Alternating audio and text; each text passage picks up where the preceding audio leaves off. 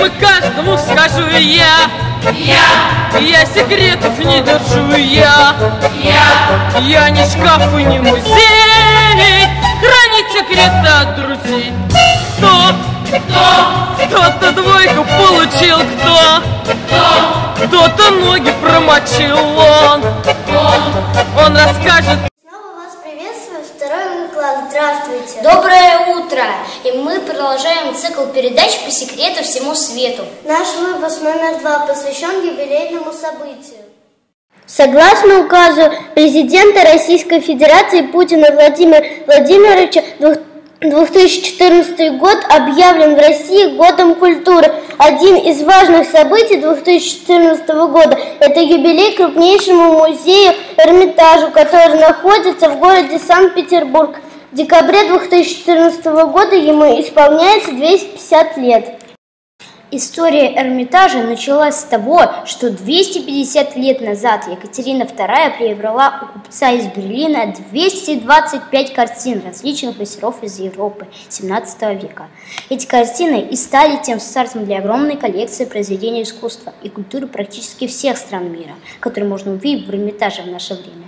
Сегодня в коллекции этого музея более трех миллионов экспонатов, отображающих искусство и артефакты из разных стран мира и все истории от Древнего Египта до начала 20 века в Европе.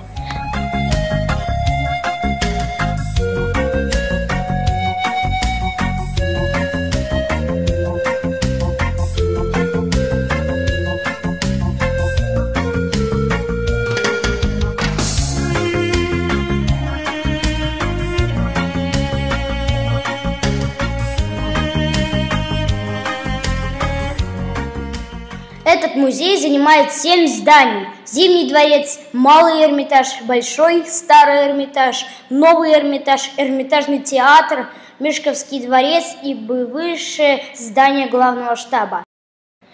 Коллекция Эрмитажа включают в себя произведения Леонардо да Винчи,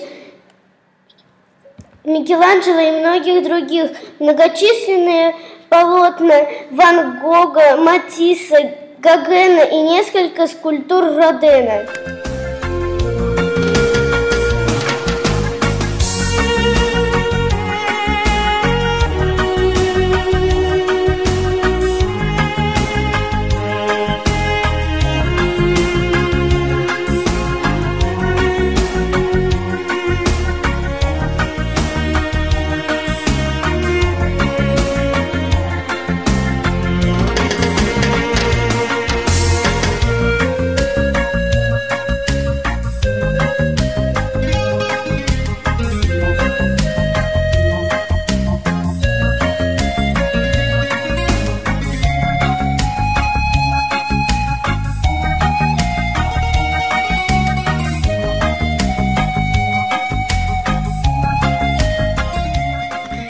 Интерьеры Зимнего дворца стали выставочными экспонатами. Лестницы Эрмитажа, часы Павлин, мраморный зал, Бахчисарайский фонтан.